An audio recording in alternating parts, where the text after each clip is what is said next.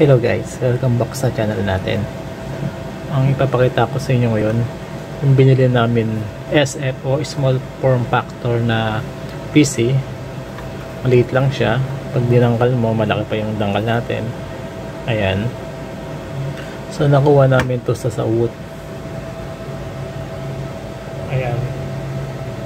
Galing niya sa Wood. Uh, Wood, isa sa mga sister company ni Amazon uh, Lenovo Lenovo siya. Ayan. Uh, i5 na siya.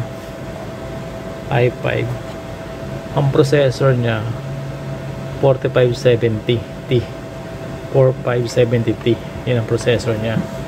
So papakita ko lang sa inyo yung loob. Buksan natin. Ito tatlo itong nabili na to eh tatlo to. So yung dalawa nakatabi itong isa papakita natin sa inyo. So pakita natin kung paano siya buksan. Isa lang screw niya isa lang yung lock niya ito. Uh, bago yan demo muna tayo. So meron siyang dalawang mic phone. Sa likod niya power niya DP port tatlong USB and then BGA siya. And then meron siyang LAN card isa. So yun lang. Buksan natin. Pakita ko lang yung laman. Yung pagbukas niyan ayan tutulak niya lang. Yan. Ito yung loob niya. So yung SSD niya King Pass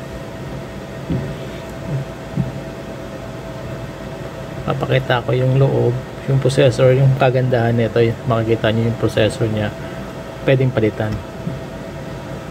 So baklasin lang natin.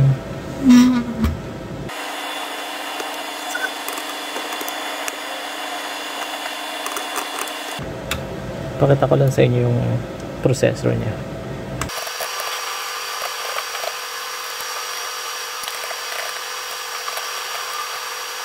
So, natanggal na natin yung pan. Ito yung processor niya. So, ito yung processor niya. 4570T. So, kung makapansin nyo, hindi siya naka built-in. Pwede siyang palitan. Ayan. So, yung heatsink niya, basta-basta pa siya. Hindi pa natin papalitan kasi mukhang bagong lagay lang pinakita ko lang sa inyo yung processor niya. So mini PC siya.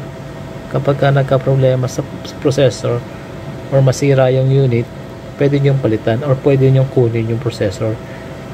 Yung memory niya tingin ko sa ilalim. Nandoon banda sa port na yun pero hindi na natin tatanggalin.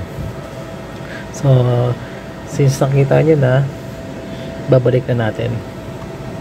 Kung hindi nyo naman kailangan ng, malaki, ah, ng malaking video card okay na itong PC na to. Uh, siya nga pala no? Itong unit na to meron na siyang kasamang license. Digital license siya. Ito siya.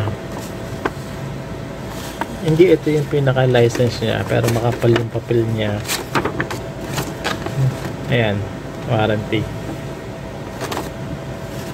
So masasabi natin legit yung license niya digital activated So, yun lang guys. Babalik na natin to sa dati. And then, thanks for watching.